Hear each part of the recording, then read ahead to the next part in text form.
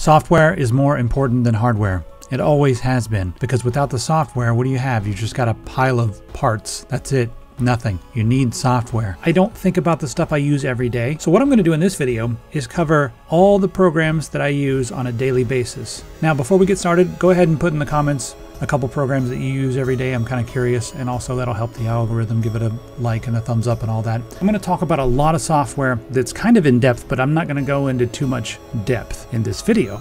So if there's any piece of software that you're like, oh, whoa, whoa, that looks really cool. So what you should do is tell me in the comments. And whatever stuff gets a bunch of comments, I will make dedicated videos just on that one piece of software showing you why it's useful, why I use it, and how you can use it to the maximum potential.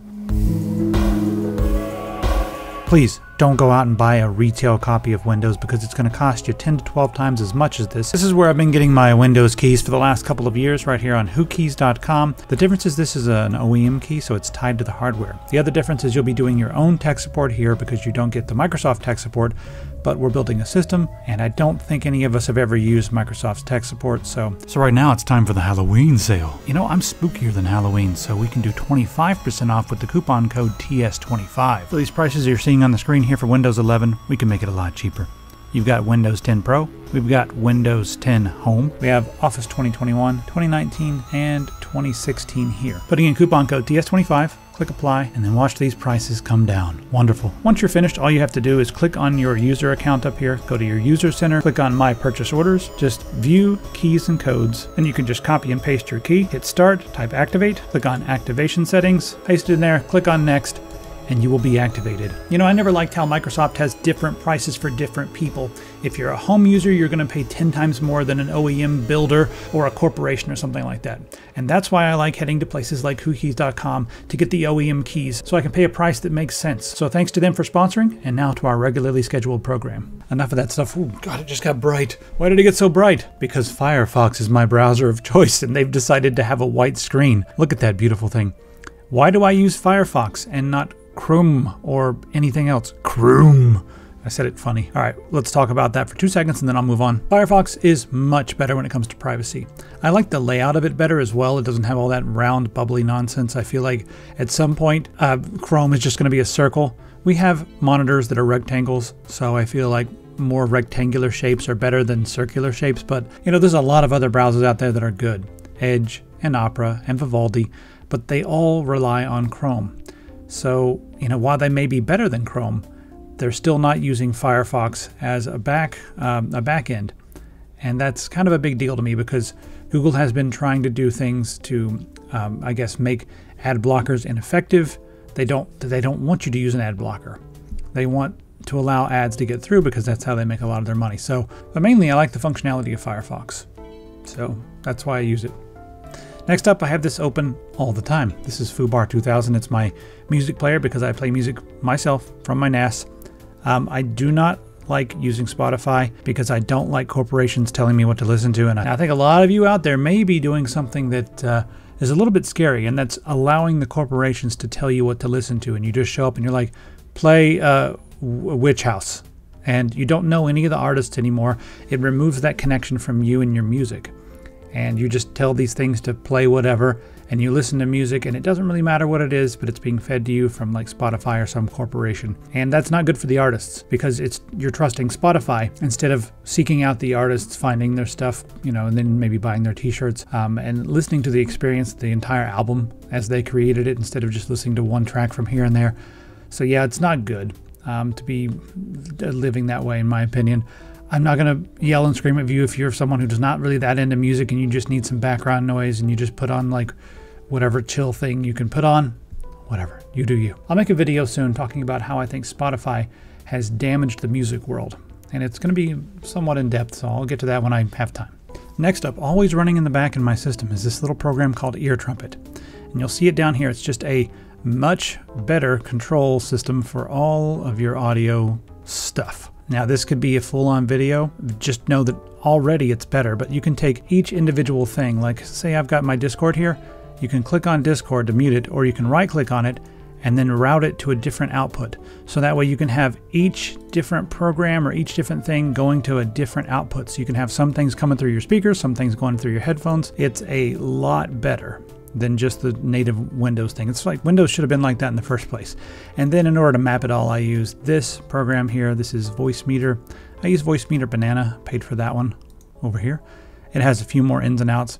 And this just allows you to remap all of your different audio stuff. Um, may not be a big deal for a lot of you, but you know, for me, I love it. Now I'm always running a VPN on one of my computers that's connected to the internet all the time doing things. But otherwise, I toggle a VPN on my main computer when I need it. And I have been using private internet access for a long time, and I'm not going to switch because they've been so fast and it's so inexpensive. We also have a conflict of interest to announce because we do have an affiliate account with them. And I've been posting that for probably about 10 years now. I don't know, like a long time. Um, now, the thing about this conflict of interest is like, yes, a lot of people will use that as a way to say that it's a shady service or something, but my point on this, I've been using this since before we became an affiliate. Um, so I've been using it for a long time. And the main thing for me is they have never leaked an IP address. They have uh, never put anybody in harm's way, never leaked any customer data. And so they have a perfect track record in that way. And they're extremely inexpensive and they're also extremely uh, fast. So that's kind of my trade-off. You can yell and scream about like where are they located, all that kind of stuff. I use a VPN, keeps me safe online, and uh, this has been perfect for me for a long time. And I run it on like five different computers in my house. So we do have an affiliate link in the description. It'll get you a better deal. So go ahead and click on that down there. And then for uh, torrenting, I run this, and it's pretty much just in the background doing stuff while this is turned on. But this is the thing I want to show you. Split tunneling down here. Check mark that and then we'll say like, you can go ahead and add applications here and say these applications use the VPN, these applications do not. So that way you can say like maybe Steam and, and whatever else does not use the VPN so that way it gets full speed, but QBitTorrent always uses the VPN. And that way you can have it running and still get full speed on some things, you know, because it does slow you down a tiny bit. Let's talk about some game stuff, shall we? So I've been doing a lot of pixel art for a project I'm working on. I was using Unity every day, but I've been completely derailed by all that Unity nonsense now. I've been looking at Godot, but that's not my cup of tea just yet. I think it will be in a year or two. So I'm probably going to go back to Unity, but the one thing I keep using every day is Aseprite. I've got over a thousand hours in Aseprite recently, and I've been having a lot of fun creating pixel characters. I'm not amazing at it, but it's fun and I can animate them, and hopefully we'll have a game that you know I'll be able to do the artwork. That was always a big limitation. Is just come up with stuff, but I, no one, you know, never had anybody to do the artwork. So I'm like, you know what? I'll just do some of the artwork myself. It's been frustrating, literally years of being like, nobody, I, I don't know anybody who does artwork. Like seriously. So yeah, now I'll be doing a lot of it myself. And then as far as like you know game clients, I usually have GOG open and I'm, I play a game. Probably I try to play like a little bit every day if I can. So I usually use GOG, and if not, it's going to be Steam. But that's we all use that stuff. All right, next up, I use Power Toys, and the main reason that I use Power Toys is let me show you here. I don't care about a lot of the stuff that it does, but Power Toys is a package of tools made by Microsoft, but it has all this cool stuff here that just adds functionality to Windows. My favorite is Fancy Zones. Now, Fancy Zones, I should make an entire video on it, it allows us to create different layouts for our snapping zones. You can create all kinds of weird snapping zones. I don't have time to do it in this video, but yeah. Open Broadcaster is usually open. I'm using it right now, and I use it for you know, games and everything else. Handbrake, I render a lot of stuff, and I'm using Handbrake pretty much uh, all the time. I don't know. I use I use Handbrake quite a bit because if I ever have like an H.264 file or something, I want to convert it to AV1, and I just use Handbrake to do that. Or if I have some anime that's H.264 or even super high resolution, I like to compress it down using the anime settings. Alright, this is something I'm not extremely happy about because don't love Discord, but I use it a lot because a lot of people are there. And I feel like with social media and Discord, that's the, kind of the problem right now is use all these things because people were there, but right now I'm after seeing what happened to Unity, what happened to Twitter, what happened to just a lot of these Silicon Valley, um, I guess, tech firms, they tend to prioritize money over user experience and they tend to prioritize massive massive profits over just the users. And that's not cool. Whenever I see something that has a whole bunch of VCs and you know dudes who are just way too excited about some nonsense technology i get weird and that's kind of what's happened with discord it's just got so much funding and stuff i don't think discord's ever going to make any money and that worries me so it's one of those things where i feel like it's going to have to be replaced by an open source thing mumble maybe a better version of mumble I mean, discord's kind of based on mumble Maybe we should go back and make a better version that's open source. But yeah. All right, the next thing I use every day is my snipping tool. Now there's two different snipping tools on Windows. Snip and Sketch and the snipping tool. I use the old school snipping tool. Snip and Sketch actually um, keeps the entire image. It's really weird. Like if you snip a part of the screen and you're trying to leave something out, Snip and Sketch keeps the whole thing. If I come over here and Snip and Sketch and I copy that much and I save it, it saves the whole screen. Like it, it'll show this, but if you know how to get into the information of this, you can like, you know, basically zoom out and look at the rest of the screen. So don't use that one, use just their old school snipping tool. I use Malwarebytes on my computer. It's a bit expensive, but it's I feel like it does a pretty good job of keeping me safe. I also have a Raspberry Pi in the other room running Pi-hole. I don't know, I'm kind of thinking about, you know, looking around on the market to see if anything is better for cheaper because I've had it for a few years and I've had I've got no complaints with it. It's been great. It finds stuff, does a good does a really good job. Yeah, it's a it's a bit expensive per year. I don't think it was as much when I started, but I don't know. I use Microsoft Tasks. Here's ideas for, for tech videos right here. I, I did some of these a long time ago. Look at this. My daily programs. It's pretty old. July 8th. Yeah, that's how far behind we are. So I can I can put all my tasks over here. Now when it comes to tasks and everything, I've I don't like to-do lists. I don't like lists. They kind of give me anxiety because I, it's always stuff that I don't want to do. If I want to do it, I usually don't even need to put it on a list. When I'm making a game or something, yes, I should probably make put things on a list, but I, I kind of have to do this, and I hate it. And I tried like 20 different list programs, tried some open source ones, tried some Linux, tried some self-hosted stuff, and just this is the only one that worked, and I can have it on my phone, uh, on Android, and on my computer and it just works. And then I use Notepad++ every day. There we go. Take a look at this. It's my um, I, it's my Notepad replacement program. I use it to edit anything, just anything, any files with code, so or whatever. CSS files, edit them in here. INI files, edit them in here. Text files, right here.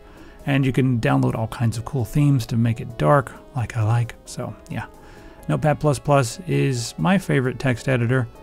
Um, there's some other ones that are not free that some people might like, but I like this one, and it's free. The bulk rename utility. If you're always renaming stuff, this is extremely handy. It's nice because it's a GUI, you don't have to do anything in the command line, and you can see the results in real time. You highlight stuff, and uh, I'm not going to make a full video on that, but if you want to see something, you know, a full video on this, it's so ridiculously handy being able to bulk rename everything in a folder. And the last thing I use, I use Open Shell Menu. Now this allows you to go back to an old school style start menu that you can, I mean, you can pick like Windows 98, 95 style if you wanted to, Windows XP style, Windows Vista style, just different styles, and then you can customize them to your heart's content, and I really, really like it. So I use OpenShell. And that's pretty much what I use on a daily basis. What do you use on a daily basis? And out of all of this stuff here, what do you want me to go into more detail? Do you want to see some detail on ear trumpet and how I route all the audio? Do you want more videos on foobar? Do you want to talk about how I use Handbrake? Uh, or should we get nerdy and show you how I set up my fancy zones to snap all my windows around on my screen? What do you want to know? Do you want to know about Aseprite? You know, are you curious about pixel art? Let me know because I will make a dedicated video on any piece of this software that you're curious about. Because I think, again, software is more important than hardware. While we're talking about all this, um, you know, software, the last thing I'll mention is Linux. So why am I not on Linux? Well, I do have a couple Linux machines in the house. Uh, one of them is running Proxmox and it's doing server stuff. And on that one, there's a Debian server and some others, an Ubuntu server on there as well. There's a couple things going on that. So I don't know if that counts as three or one. The VMs count as three or one. Then I got a media center thing. Um, but there's a lot of reasons why I use Windows and I don't think I'm going to get into it all in this video, but um, just put it this way, a lot of my programs only work or work best in Windows, uh, namely the uh, FooBar. That's really, really important to me. I got it working, yes, on Linux, but it was not the same experience. It was a mess and it was a pain in the ass trying to map it to my heart, my, my, my NAS to get it to work and everything. Um, there's a few things on Linux that are pretty close, like what is it, B Audio or something? I don't know. It was like the one that was closest. but the other thing is that my music creation program, a lot of the plugins are specifically designed for either Windows or Mac, and they are not compatible with Linux. So while I can use really cool um, software like LMMS and all that for for Linux to make music, um, you you don't have the same plugin support, and that's really important to me. So I need to use Windows from a creative standpoint. And then when it comes to video games, I like to mod games. I mod a lot of the games that I play. And you know, you can play a lot of games on Linux and it's a very good experience. In fact, I prefer the experience of, you know, switching windows and alt tabbing and stuff on Linux when you're in games. And I like how their desktop works better. But um, trying to get mods to work is going to be a hit or miss thing with a lot of games. So that's why I usually just stick to Windows. It's pragmatic. Anyway, hope that satisfies the Linux crowd. And the last thing I want to say is let's do let's keep on doing this sale until Halloween. Where's that thing? There it is. Oh, this thing's closer now. There's secrets on the desk. Halloweener dog. You get 30% off on this and this with amazing, yes, thumb thumbstick. It feels so good. This actually shows up in your computer as an Xbox controller. And then if you hold down the home button, if you're like, if you want to do direct input, hold down the home button for five seconds and it'll switch to direct input. And then we got keyboard, it's water resistant. All right, head over to epicpants.com. Halloweener dog is the, the coupon code until Halloween to get these 30% off. And the mouse pads too. Yes. Yeah.